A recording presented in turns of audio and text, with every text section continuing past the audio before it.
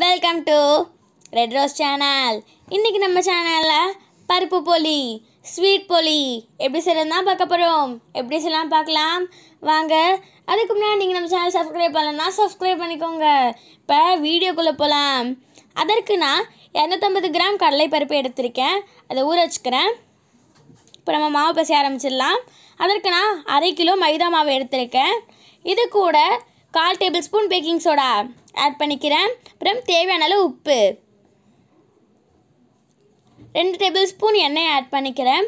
எண்ணெய் கொஞ்சம் அதிகமாக ஆட் பண்ணால் தான் நல்லாயிருக்கும். இது கூட கால் டேபிள் ஸ்பூன் மஞ்சள் தூள். ஆட் பண்ணிவிட்டு நல்லா கலந்து விட்டுக்கோங்க.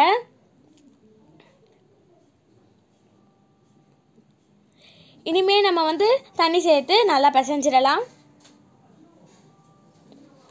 இப்போ தண்ணி ஊற்றி பிசைஞ்சிக்கிறேன். கொஞ்சம் தளர்த்தியாகவே பிசைஞ்சுக்கோங்க. ரொம்பவும் ஹார்டாக இருக்கக்கூடாது. நான் பிசைஞ்சிட்டேன். பாருங்கள் இதுக்கு மேலே கொஞ்சமாக எண்ணெய் அப்ளை பண்ணிக்கிறேன். இப்போது அந்த கடலை பருப்பில் அஞ்சு விசில் விட்டு நல்லா வேக வச்சுக்கிறேன். இப்போ நான் வேக வச்சிட்டேன்.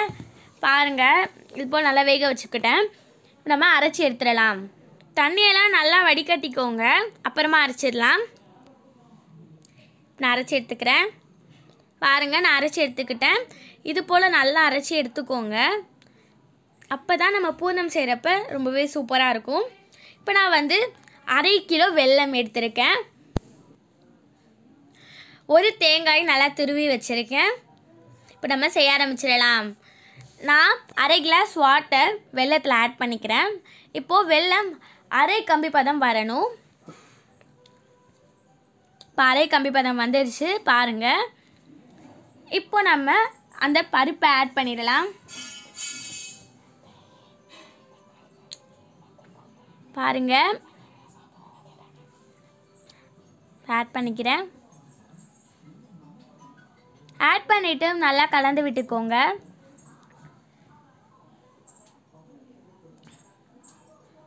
அருங்க இதே போல் கலந்து விட்டுக்கோங்க. இப்போது இது கூட நம்ம எடுத்து வச்சுருந்த தேங்காய் ஆட் பண்ணிக்கலாம். இப்போது தேங்காயும் நல்லா கலந்து விட்டுக்கோங்க. இது கூட ஏலக்காய் தூள் அரை டேபிள் ஸ்பூன் ஆட் பண்ணிக்கோங்க. அப்படி இல்லைன்னா ஆறு ஏலக்காய் லைட்டாக உடச்சி சேர்த்துக்கலாம். இப்போது நல்லா கலந்து விட்டுட்டே இருங்க. இந்த ஸ்டேஜ் வரப்போ நம்ம ஸ்டவ் ஆஃப் பண்ணிவிட்டு வேறு பிளேட்க்கு மாற்றிடலாம் நான் மாற்றிக்கிட்டேன் இப்போது நம்மளோட ஸ்வீட் பூர்ணம் ரொம்பவே சூப்பராக ரெடி ஆகிடுச்சு மாவும் நல்லா இரண்டு மணி நேரம் ஊறிடுச்சு. இப்போ நம்ம செய்ய ஆரம்பிச்சிடலாம். ஒரு இலையில் எண்ணெய் அப்ளை பண்ணிக்கிறேன். சப்பாத்தி மாவு கிடைக்கிற அளவு கொஞ்சமாக மாவு எடுத்து உருட்டி வச்சுக்கிறேன். பாருங்கள் இதே போல் எல்லாமே உருட்டி வச்சுக்கிறேன். அப்புறம் பூர்ணமும் இதே போல் உருட்டி வச்சுக்கிறேன். ஆனதுக்கப்புறம் பூர்ணம் நல்லாவே கெட்டியாயிடுச்சு. இப்போது மாவை இது போல் கையாலே விரித்து விட்டுடலாம். இந்த நடுவில் மட்டும் கொஞ்சம் கனமாக இருக்கணும். அப்போ தான் வந்து நல்லா ஓட்டை ஓட்டையாக விழுவாமல் நல்லா வரும். இப்போ வந்து நல்லா மடிச்சுக்கோங்க. நல்லா உருட்டிக்கோங்க. இப்போ நம்ம திருப்பியும் விரிச்சுக்கலாம். நீங்கள் கையால் தான் விரிக்கணும்னு கிடையாது. சப்பாத்தி கட்டை வச்சு கூட விரிச்சுக்கலாம். பாருங்கள் நான் விரிச்சிட்டேன். இதே போலே விரிச்சுக்கோங்க. இப்போ நான் இது போல் விரிச்சுக்கிட்டேன். இந்த அளவு மொத்தமாக இருந்தால் போதும்.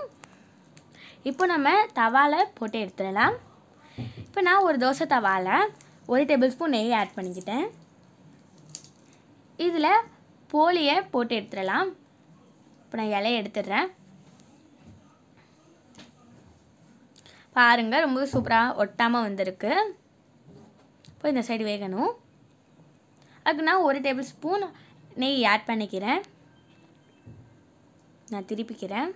பாருங்கள் இந்த சைடு ரொம்பவே சூப்பராக வெந்துருச்சு. இப்போது அந்த சைடும் வேகணும்.